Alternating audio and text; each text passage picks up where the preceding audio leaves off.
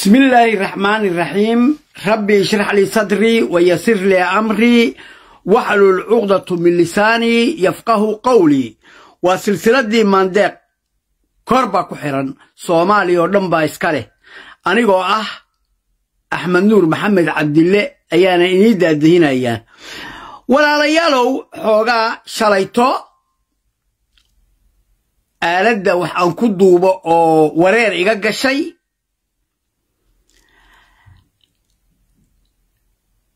wixii aan soo dirayna qaladaad fara badan aysan ku jirin balse aan jeclaaday waddadii aan la rabay inay marto ayaan ku celinayaa ilaa runta lagama lexleexde madaxweynaha xasan sheekh maxamuud iyo in allaale inta asaga u dhega nugul ee la socota oo ay jaalka yihiin. Sida ayagana u habboon ummadda soomaaliyeed oo dhan u habboon wixii qasa wixii lab'a wixii khayaana'a wixii laalaaba wixii magacdirida wixii sharafta ummadda soomaaliyeed wax u dhimaya inay ka fogaadaan. Maadaama rag iyo dumar gudo iyo dibad. Ummaddu tallaabadii la qaadaba ay og yihiin oo ay la socdaan. Taa halkaa marka aan dhigo waxa runtii aan shaki iiga jirin marka puntlandti aan tooshka ku qabto dhaqanka iyo dadkeeduba inay yihiin kuwo hormarsan waxaana ku adkaynaynaa waxgaradka haddii aanu nahay rag iyo dumar kale sida ilaahay u abuuray ay yihiin siyaasadda ay u garanayaan reer puntland. Mar walbaba ka dheeraada. Dadka idinku halgamaya ee danaha gaar ahaaneed ee mid wax magarato iyo cadow. Wax ka soo maraxsaday ka soo tala qaatay iimaan xubana ku dhacday in ay dalka burburisiyaan waxaan rajaynayaa ciidamada ama dowlad dhexe ha joogeen ama maamullada ha joogeen ciidamada wax allaale waxa hanti ah ee layni siiyo ee mushaar lagu sheego laba meelood bay ka yimaadaan. Midna waxaa weeye canshuurta shacabka. Midna waxaa weeye dowladaha shisheeye waxa ka yimaada.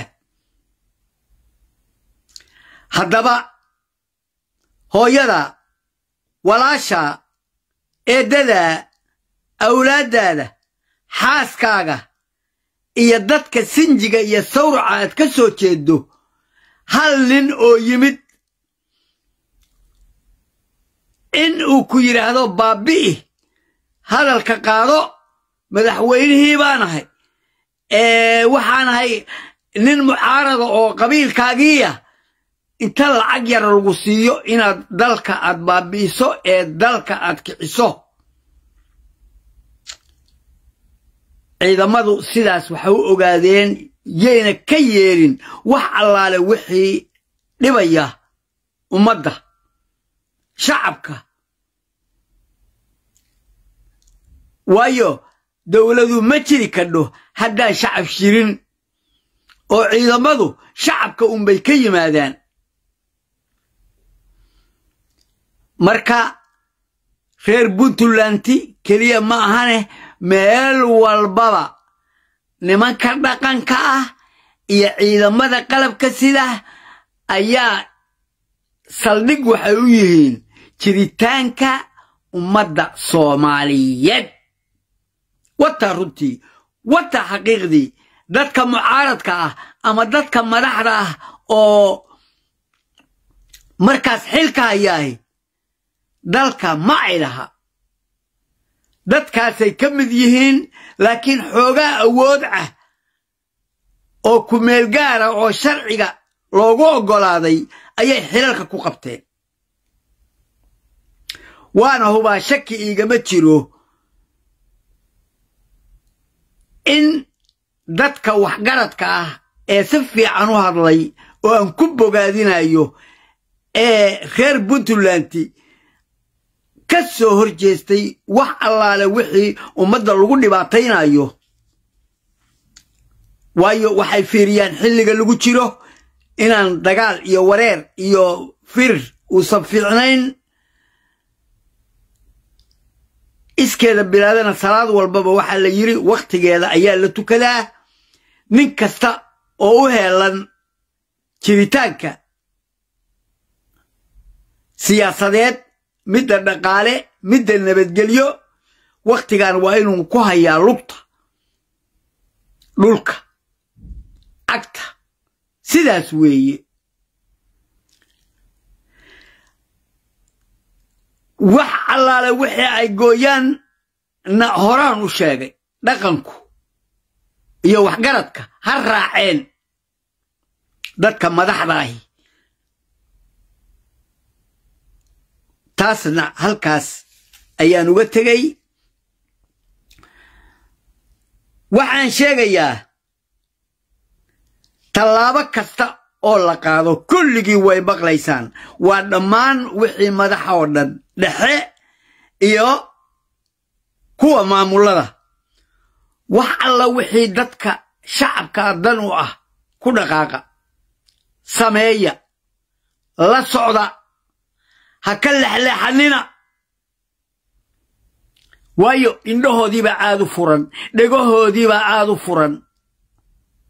Qalbigoodii ayaa u heelan waxa wanaagsan waxa xunna aysan arki karaynin. Dhegahoodana waxsan maqle. Inay waxsan maqlaan ayaa marka kan ay u darban yihiin. Waayo aqoontoodiibaa meel walbaba ummadda soomaaliyeed kacday haddii ay tahay soomaalida hadda howlaheeda lagu dhex jiro doorashooyinkeeda iyo maamulladeeda iyo habkeeda iyo waxaan ka hadlayaa waqooyi iyo koonfur. Soomaalida deggan kuwa kalena ilaahay ha dhowro meelahooda waa ku fiican yihiin. Hadday n f d yihiin hadday soomaali galbeed yihiin hadday reer jabuuti yihiin oo ismaaciil cumar geelle weligiisba isaga tuban jiray. Intuu joogana ku tumanaya oo caqli uu isku toosiyo garan waayey. Inta kale marka waqooyi iyo koonfur shacabka wax u dan ah bannaanka soo dhiga. Wax kale nama galaan wax yar oo qallooca markaad gashaan. Waa sheegaynaa sidii loo ammaanayey wakhtigii maxamed cabdullaahi farmaajo taariikhdii wacdarihii sharaftii qiimihii haykelkii iyo baawaha ummadda soomaaliyeed martabadda roolka ay cayaaraysay. Adduunkao dhan buu ka yaabay habkay ahayd. Wax allaale wixii wanaag ay soo sameeyeenna. Dabadaa laga galay dabada ul baa loo qaatay. Wixii oo dhan ayaa bash bac bash celi kab rig rag qabo ka leexo iskari jab wax baas iyo reera muskood wax ka yimid. Sharaftii karaamadii haybaddii bannaanka loo tuuray.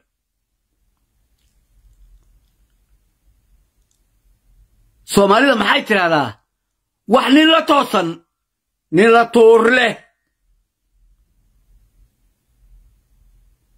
wixii la cayriyey way soo celiyeen wixii la xukumay. Dembi ma qabtaan baa la yidhi.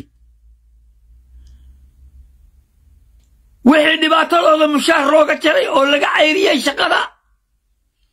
Garaadadiinna qaata shaqeeya. Halkaas dowladdii hore lama caayayo shacabka ayaa la caayayaa waayo shacabku way garanayaan. Tallaabo fiican markii la qaado iyo tallaabo xun markii la qaado markiiba waa garanayaan. Kubiya cabba. Saa ula socda wax. Ummadda soomaaliyeed baana maandeeq kor baa ku ku xiran ay u hadashaa. Taariikhdu waayaha adduun yay tusmaysaa dheh qof walbaba tayadu shalay lahaa.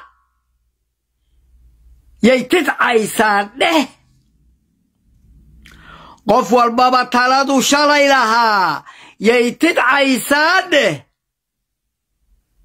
tacabkiis raggii hore halgamay tiiriyey heli dheh tacabkii raggii hore halgamay tiiriyey heli dheh sayid maxamed toomuhu alkumay lagu tanaadaa dheh. Sayid maxamed toomuhu alkumay lagu tanaadaa dheh daraawiish tubtuu mariyey bay weli ku taamtaa dheh daraawiish tubtuu mariyey bay weli tisqaadaa dheh intuu tiiriyaa qarankayaga tacaddi gaarayn dheh. Suu u tiiriyaa qarankayaga tacaddi gaarayn dheh. Turnuqyada. Waxgaradka midnimo. Toosin cabidkeed dheh turnuqyada waxgaradka midnimo. Toosin cabidkeed dheh isku tola dadkeen iyo dalkeen. Tacaddi dheereeya. Isku tola dadkeen iyo dalkeen. Tacaddi dheereeya. Waxaan aad iyo aad u rajaynayaa in ay mudan tahay hambalyo inaan u jeedinayo ahlusunna oo uu madax ka yahay sheikh maxamuud oo reer galmudug ah. Iyo reer ayaanle reer ayaanle reer ayaanle sharaftii karaamadii qiimihii ay u diideen wax walba oo dhibaato ah. Anoo marka sheekh maxamuud halkan kala hadlay joojinta uu joojiyey. Rag iyo dumarna ay ka hadleen. Aad iyo aad ayay labaduba u fiican yihiin sheikh maxamuudna inuu ku dhacay jidkii. Oo dagaaladii laga joojiyey. Hadday guraceel tahay hadday dhuusamareeb tahay hadday agagaarihii tahay waxaan sheegayaa reer galmudug oo isku duuban. Shacabka halkaa deggan ha laga farxiyo dekedda hobyo sida ugu dhaqsaha badan. Ha u shaqayso. Inta si fiican loo hagaajiyo. Horeyna aan ugu qayliyey. Ninka axmed ducaale xaaf axmed ducaale xaaf axmed ducaale xaaf oo aan ku ogaa nin karti leh. Nin dadlimo leh nin qiimo leh. Aad iyo aadna aan u garanaya waxa uu yahay dhabtii nin ganacsadaha oo weyn oo dayuurado iyo adduun wada lahaa asaga iyo nin hadda geeriyooday ee reer s c ah ay isla lahaayeen. Waxaan kula teliyey markuu guddoomiyaha ka degay ama madaxweynaha galmudug uu ka degay war u leexo xagga ganacsiga dekeddana qabo gacmaha ku qabaan idhi gacan bira ilaa ganacsigii baa taqaanaaye. Meeshaydii baan weli taaganahay. Axmed ducaale xaaf kac baan ku leeyahay ka kac meesha. Baraarug magaca iyo sharafta reer galmudug bannaanka soo dhiga. Ha laga farxiyo ummadda ha laga farxiyo halkaa shacbiga joogta ummadda dagaalka waxa u keenaya isqaqabsiga waxa u keenaya dabakaroorka waxa keenaya waxa weeye ummadda hawlgeliya shaqooyin badan baa halkaa ka soo baxaya dekadda markii la furo. Ummadda soomaaliyeedna waa in si isku mid ah kulli loo wada dhaqaaleeya qolo kastaba jileec iyo jareer yaa loo kala fiirin soomaali soomaali weeye kulligiin isgarab qabta khayr baan isku ognahay assalaamu calaykum waraxmatullaahi wabarakaatu